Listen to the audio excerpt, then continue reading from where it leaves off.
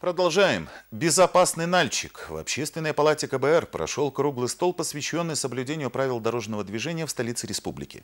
В обсуждении участвовали представители мэрии и сотрудники ГИБДД. Рассказывает наш корреспондент Адам Абазов.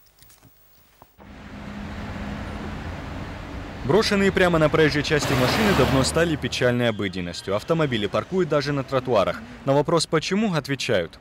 Мест нет парковочных, поэтому пока здесь остановился. Машин много.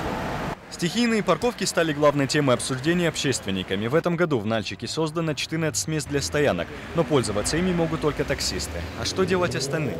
Предполагается, после выноса автовокзала центральный автовокзал возле рынка, его же собираются разделить на, на два, и один въезд и второй въезд.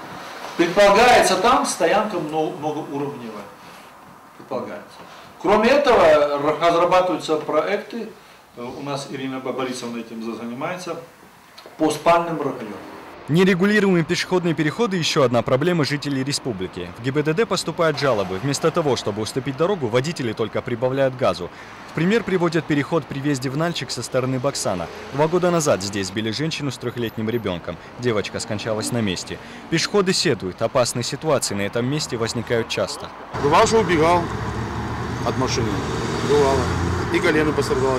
Один останавливается, а второй уже может сбить надо внимательно переходить улицу. Ехала машина, за рулем сидела девушка, разговаривала по телефону.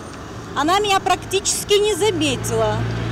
Ну, миллиметр, миллиметр какой-то был, чтобы меня сбить. Я успела просто отскочить. Автоинспекторы о ситуации знают. Говорят, переход расположен на участке федеральной трассы. Это значит, максимум, на что имеет право, устанавливать знаки особых предписаний. Неровности трапециевидные или любые неровности, ГОСТ противоречит.